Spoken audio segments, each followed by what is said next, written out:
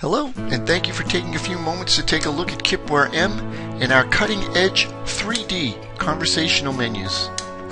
This is the main screen in Kipware M where you can select standard operations and use the fill in the blank forms, which is pretty much what we mean by conversational, to create powerful G code programs that can contain uh, cutter compensation and uh, roughing and finishing, all kinds of powerful features available in the conversational menus. But today we'd like to walk you through some of our 3D options. Now this is real cutting edge. There are no conversational programming packages on the market that can do 3D using a conversational or filling the blank screen. A couple of things that we can do are tapered cones. Uh, so if you have something that has a pin, tapered pin, uh, you can do it using a conversational fill in the blank screen. Uh, if you have a tapered hole, we can also do that with the conversational screen. Tapered bosses, rectangular or square, or we can reverse that and do tapered pockets, rectangular or square. We can also do curved surfaces, all again using a conversational fill in the blank form. We can do horizontal and vertical troughs. And uh, one of the things I'd like to point out is we can do this most of the shapes with either a square end mill or a ball end mill. So what we give you in this particular case in the trough is the ability to rough this trough shape with a square end mill, which is a lot quicker and a lot more efficient than doing it with a ball end mill, and then come back with a finishing cycle and use a ball end mill uh, to create a nice finish. We can also do a bowl. Uh, so if you need something that's uh, half of a circle, bowl shape, we can do that again with a conversational screen. And again, doing it with a square end mill or a ball end mill. But today we'd like to introduce you to two of our newest menus. Uh, these were requested by a customer of ours, and this is a male and female bending die. A lot of customers will be using a sheet metal to do some bending die creation, and with the conversational screen, you can create both the male side of the bending die and the female side of the bending die. Uh, we released the male bending die back in June, and uh, today we're introducing the female side of the bending die. I've got a couple of programs that I created here. One is a rough and one is a finish. So if we take a look at this one, uh, we're going to do some rough milling, uh, conventional style, using a square end mill. Uh, we've described all of the cutting parameters here. So we've described uh, the radius of the cutter, the overlap, uh, the depth of cut, the angle of the die, uh, the width of the die at the top, and then the length of the die and the radius of the die at the bottom. So Kipware M is going to do all the calculations. Uh, basically, all you need to tell it is the width and the angle, the radius at the bottom, and then the software will go through and do all the calculations as far as the tangency point is concerned, uh, and all of the roughing uh, passes along the angle and then along the radius at the bottom just by using the fill in the blank form. So if we take a look at the finishing side, now we're going to come back and do a finishing end mill, which is uh, finishing with a conventional cutter using a ball end mill.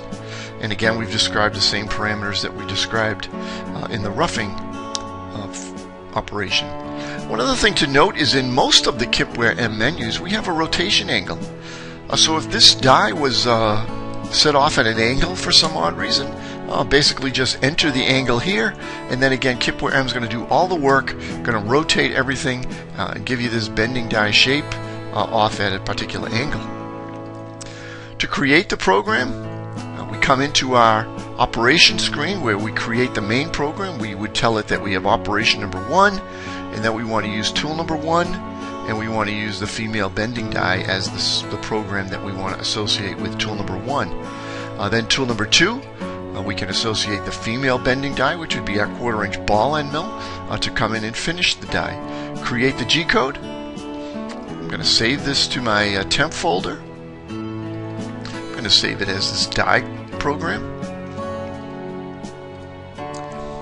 We'll take a look at the toolpath in the simulation software. Uh, first thing we're going to look at is we're going to look at the a quarter inch end mill that's coming in and doing the roughing passes. Uh, now we've got 50,000 step downs in here.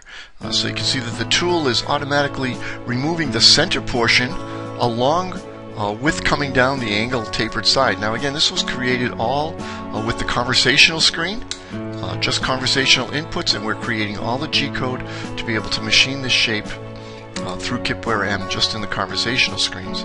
And again, this is cutting edge technology that uh, only Kipware M has 3D conversational uh, abilities to create 3D shapes. So we're going to look at this uh, till it's finished and then we're going to change to the quarter inch ball end mill and then we're going to come in and do the uh, finish along the contour. So you can see the roughing pass is, is machining everything out and the finishing pass is just going to come along down along the contour.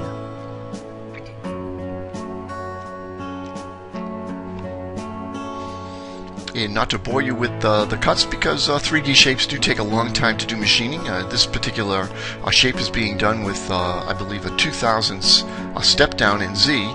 So we're going to kind of go through the video a little bit quicker. And now we're about halfway through and we should be getting to the transition point pretty soon where we're transitioning from the uh, 60 degree wall to the bottom radius. And as we get to the transition point, uh, you can see that we've got material left at the bottom here, and that's because the software automatically determined a roughing end mill how much it could go uh, as far as the width goes uh, before it would start hitting the sides of the radius part. So as the radius part comes in, uh, the software automatically determines uh, where that quarter inch end mill, how deep it can go, and then leaves the material there for the finish cut and there's ways that you can come in and you could uh, semi-rough the bottom with a ball end mill so that you could get it a little bit closer uh, before you come in with the finish cut. In this case, just to speed things up, we're coming in uh, completely with the ball end mill at the bottom to finish up the, uh, the radius.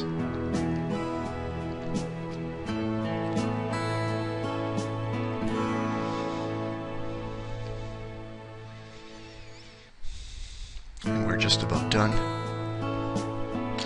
So let's take a uh, take a look, rotate it around, and you can see that we have uh, our complete bending die shape for the female side completely done. Again, all done with a conversational screen, uh, all the tangency points and all the uh, uh, points for the end mill to come around, all done uh, completely by the software. So let's look at Kipware M 3D options. Uh, we hope that you take a look at Kipware M through the many videos that we have on our YouTube channel or on the website uh, kentechinc.com. Thank you.